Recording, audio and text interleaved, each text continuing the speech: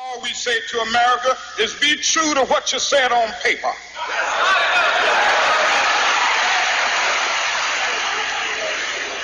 If I lived in China or even Russia or any totalitarian country, maybe I could understand some of these illegal injunctions. Maybe I could understand the denial of certain basic First Amendment privileges because they haven't committed themselves to that over there. But somewhere I read of the freedom of assembly. Somewhere I read of the freedom of speech. Somewhere I read of the freedom of press. Somewhere I read that the greatness of America is the right to protest far right.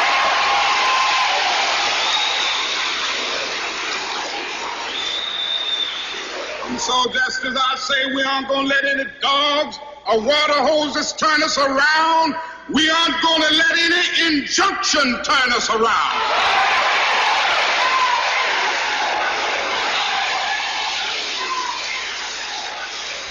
Well, I don't know what will happen now. We've got some difficult days ahead. But it really doesn't matter with me now because I've been to the mountaintop.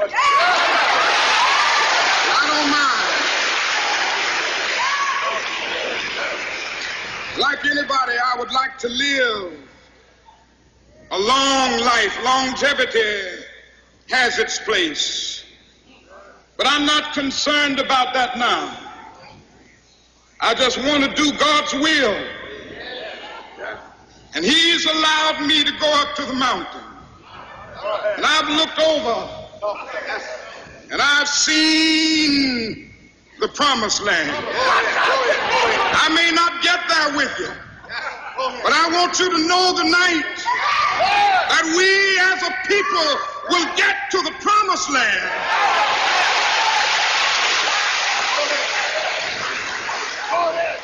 So I'm happy tonight. I'm not worried about anything. I'm not fearing any man. Mine eyes have seen the glory of the